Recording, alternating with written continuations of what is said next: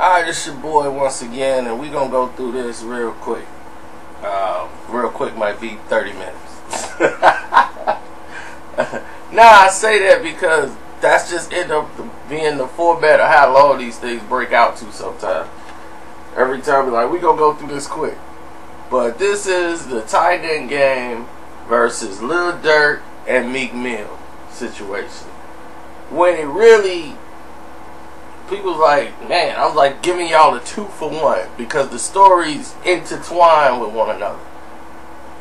Meaning that it's publicized about Tyga and Durk, like on a big level, but nobody really knew the Meek Mills and Tyga situation, which really led to the whole thing. Matter of fact, forget it. Change the title. Put the whole Young Money in it. Throw them all in it. Because it all stems from the same thing. It's all one big story. And the whole situation started like this. Once Tyga. you know he got Blac Chyna, okay? We won't go to how they met. We won't go on the fact that she's a stripper from Miami. Like they all are.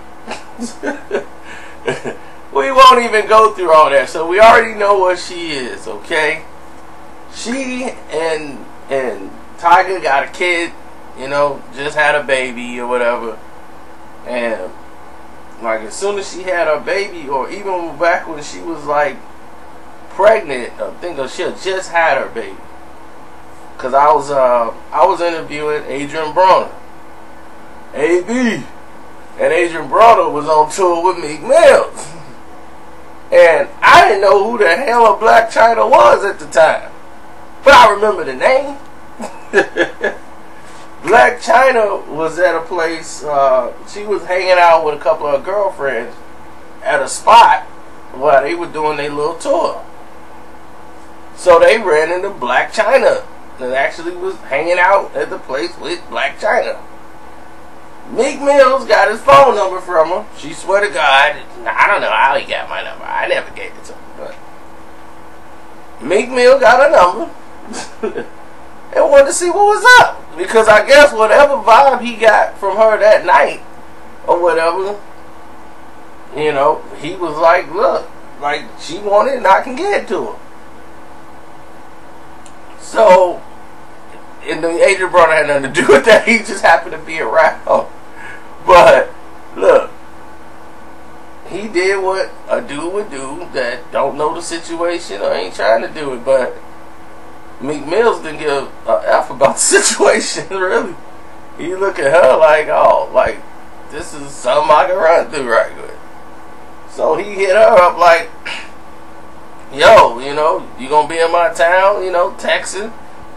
The text messages and all that. I'm quite sure you've seen them all on the internet by now. But he was hitting her up because they were going back and forth. Like their text messages before that when she was talking about getting up with him. That's why he was being so forward with her. And all of a sudden, you know, it didn't materialize the way she wanted it to do. And she put Meek Mills out there on blast and, like, here, look, Meek Mills been trying to get up with me because she got caught. You know, Tyga's like, what's this? Oh, Meek Mills, da da da da. And this all came from the Versace song that they were on. You know, when he was on the remix. So he feel Tyga got in there and started putting him on blast on the internet, trying to make him look like a stalker. And that was Tyga's idea. Meek Mills did. So Meek Mills already was feeling a certain way about him. Like, man, he's a lame. You know, so he really was like, man, I'll lyrically tear that motherfucker up.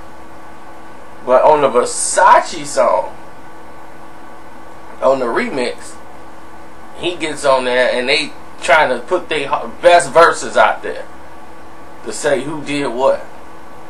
And everybody was like, man, Meek Mills killed Versace. Meek Mills did this and Meek Mills did that. So, take it as you may. the two really didn't like each other from 21 Jump Street. And Drake and Nicki love Meek Mill. Meek Mills is like they they call them. Oh, you are adopted Young Money. This adopted Young Money right here. This adopted Young Money. They used to joke like, yeah, he adopted Young Money, and Tyga really was there. They was like, oh, they showed love to Tyga too, and he was there. But they didn't like kick it with him because he was kind of weird, you know. Like Tyga don't do the things that everybody else really do when they go to the clubs, kick it, hang out. He more of a laid back, quiet type dude. Ain't nothing wrong with it. It's just that's not his style. So his vibe wasn't what they were on. These people are successful, have been successful. He want to be Tyga want to be successful, but be on the low. He want to go out, be make some noise while he got an album out, then go back and chill. You know, his Rack City, all this stuff was doing good on the internet, but his money slowed down. And when his money starts slowing down, and Blac Chyna know it, she finna go out and play because the money's slowing down. So he wasn't heavy balling at the time. Everything was slow motion, and they ain't putting his music and nothing out. So he now he's getting frustrated because his girl's frustrated. And that's just like any aspect of life. When your girl got a problem, you gonna turn your problems out on something else that you should have addressed a long time ago. Where my money? Nah, nah, nah, nah, nah, nah. Y'all messing with my money. Because now you about to lose your girl. Who's that for money anyway? But anyway. That's why she had the baby. But anyway. I just don't understand some of these dudes, man. Anyway, they in the studio working on this song and uh Lil Durk has got this song, you know, they working on this cut, he's on this remix and whatever, and Tyga's gonna be on the song and this and that. And one of the lyrics he shouted out like Blac Chyna. Like, I hit that. Like, some some silly line. You know, I ain't listened to the song once, but I don't really think nothing of the song. So, anyway, Tyga face got all scrunched up like, hmm? And, you know, Chris Brown and all them in there because they like Lil Durk. So he was like, no, dude, it was a it was a compliment he just thought it was funny. Chris Brown did, but he was like, "Nah, it's cool. I'm, I'm, you know, I mess with you. You know what I'm saying? Yeah, yeah. It just caught me off guard. I'm like, what? He's like, no, I'm giving her a shout out. That's a compliment. You know what I'm saying? I ain't Blac Chyna. I'm just shouting her name out. He was like, oh, okay, cool, cool. He's like, just throw my name in there too. You know, he was like, yeah, all right, for sure. He's like, matter of fact, just take that line out. Just take everything cool. Just take that line out. He's like, all right, cool, no problem. You know, he's like, yeah, we're gonna work together. We're gonna do these songs and this and that. So everybody thought Tyga and, and uh, Durk was working together, and they was gonna work out an album and all this because they had the pictures when they was in the studio preparing to work. So he started texting him like, dude, I'm gonna send you these joints. I'm gonna do this and that. Did you change the paint yet? Did you take the line and stuff out? Yeah, and he keep what he was doing was trying to get Durk and trying to play him as a sucker because he don't know him. It's hard to play a Chi Town dude as a sucker and for them to not know it. Now, when a Chi Town dude, especially street Chi Town dude, finds out that you trying to play him for a sucker, you gonna have some serious, serious, serious, serious, serious problems more serious than you probably ever heard or thought you could ever be in, industry or non industry. They don't take disrespect too well. And sometimes there isn't a conversation. You better hope you get a chance to get a conversation before something happens. That's how it usually goes down. And the situation exploded because Durk found out or figured it out, like, oh, this sucker just keep doing this, and he keeps stalling and all this because he want to push back or take off the. Uh, he want me to take the lyrics off so that uh, he can come out and be like, he ain't gonna do the song anyway. He just want to get me to take the lyrics off, and he's just being a sucker about it, trying to play me. So he came out and just started ripping Durk on the Chiraq song. And once that happened, when the Chiraq song came out on the remix that had uh, Nicki Minaj on there, which I don't know why she was on Chiraq, but okay. He got on there and ripped Tyga on the on the track. And once that happened, Meek Mills was like, man, I want to get on that uh, remix.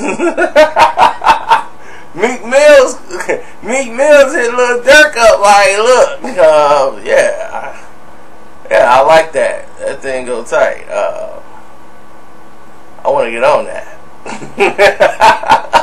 now Meek Mills want to get in on it because they already he, already know about what's going on with Tyga and uh, Durk. So Meek Mills jump right in like, uh, yeah, I want to get on that track. I won't miss this for the world. So he, so now Meek Mills is up there with Durk, and they spitting. So Tyga feels some sort of way because he's like, man, Drake didn't come up, step up to my aid. Nicki ain't tell you nothing about taking the verse off from dissing me, you know, on the remix and doing all that. And she complain about that at all. She just, you know, just riding the wave of it. I ain't got no family. they ain't family. You know, like they ain't really cool, and this is why I don't deal with them. Like this was, he was expecting them to show brotherhood, even after he didn't diss them, like in the magazine. They're like they ain't really my friends. They was like, well, no. she had been unfollowed him off Twitter and all that. But this guy thought that I guess he was feeling some sort of way. Like, there's a guideline of some respect. Like, I would have never let nobody, like, come at them like that on the records with me, even though I wasn't really cool they ain't did nothing. But he felt slighted, so he run to go get the only guy he know who in the industry owes me a favor. oh, game. game, man. You gotta come help us out, cause we kept you relevant when you was with Young Money and Lil Wayne. You know, you know I mess with y'all. So you gotta come out here and help me out. So he was like, bet. Put on his shirt, suit, game get involved, start going at little Durk. and they make the little diss song back and they got game on it. It's like, what? Because first it was just the Instagram video with just Tyga spitting. Then the song come out and have game on it. And game put a classic diss song on there. This verse. Well, I won't knock your thing. It was tight. But I'm from Chi-Town. you was about to get knocked out for that verse. Everywhere. Because you broke a code that in Chicago, Chi-Town, that I gotta let all y'all know about. There's an unwritten code that says, watch how you say something. Don't name drop a guy that's doing time or could be facing charges or is already fighting a case or anything like that unless you know that guy or have great permission to do so. Because it put people in a very sticky predicament. And then you giving shouts out to another guy like he co-signed it. And he like, man, like, cause people listen to the song, they like, man, he shouted him out like dude co-signing it. He with him. Cause they ain't finna go in there and be like, hey, uh, we heard you were co-signing. They might come up, man, you co-signing gay? And they might come at him with guns drawn. So his life could be in danger. Or they might just come shooting.